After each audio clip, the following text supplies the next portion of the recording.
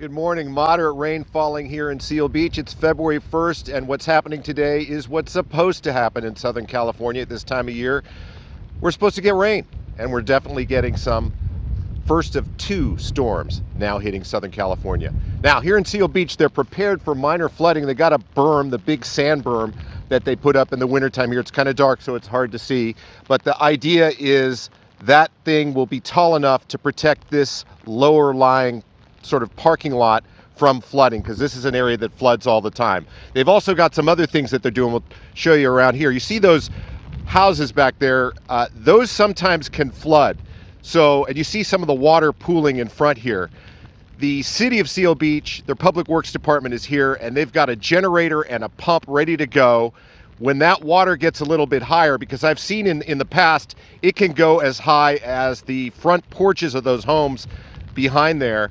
When it rises a little bit more, they'll turn the pump on. They pump the water back into the ocean and prevent any kind of flooding because trust me, it's happened here before over the years. Again, this is a one two punch that we're getting here, the first of two storms. It rolled into Southern California just after midnight.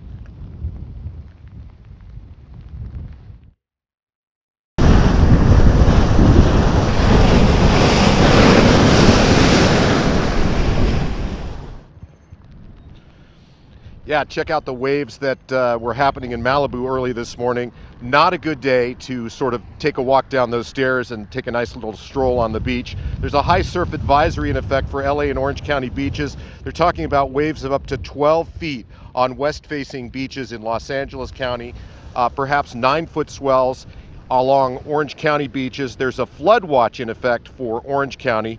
This rain could be heavy at times. Forecasters are predicting we could see as much as a half an inch to three quarters of an inch of rain falling per hour. That could create some minor flooding and uh, some ponding in low lying areas. Let me show you the pictures from Santa Monica from overnight.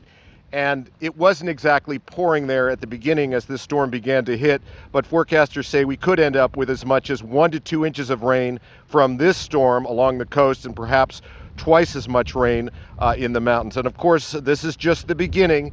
The second storm will roll into Southern California, oh, Sunday, and then we're looking at three days of rain perhaps uh, happening there. Here in this parking lot here, I'm seeing the water beginning to rise a little bit. It's coming up a little ways. As soon as it comes up a little bit more, they'll turn on the uh, pump here and get some of this out of the way, but definitely not too bad at this point. And again, we're getting moderate rain here heavier rain possible throughout the morning. We'll send it back to you.